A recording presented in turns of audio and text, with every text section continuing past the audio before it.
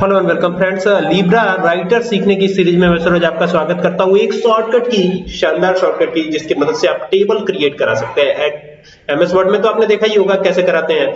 और आपको क्या करना है? जैसे मान लीजिए टेबल क्रिएट कराना है तो आप यहाँ पे जाते हैं, फिर यहाँ पे क्लिक करते हैं इंसर्ट टेबल पे जाते हैं। आपको सिंपली एक तो शॉर्टकट की प्रेस करना है। कंट्रोल के साथ प्रेस कीजिए F12 क्या प्रेस करना है? कंट्रोल और F12 यहाँ पर देख सकते हैं, जैसे ही आपने कंट्रोल प्रेस और F12 प्रेस किया तो ये ओपन हो गया, ये विंडो ओपन हो गई इंसर्ट टेबल वाली।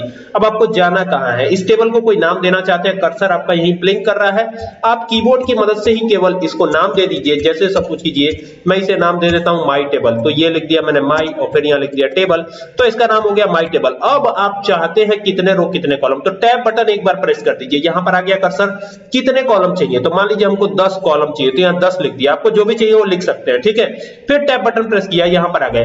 अब कितने रो चाहिए? तो मान लीजिए हमको पाँच रो चाहिए तो यहाँ पाँच लिख दिया। सिंपली अब बस इतना ही कर रहा है एंटर प्रेस कर दीजिए। देखिए, आपके सामने टेबल क्रिएट हो गया। ये बहुत ही इजी है, अगर आपको ये ट्रिक अच्छी लगे तो आप हमारे इस वीडियो को शेयर करें चैनल को सब्सक्राइब करें। Thank you for watching this video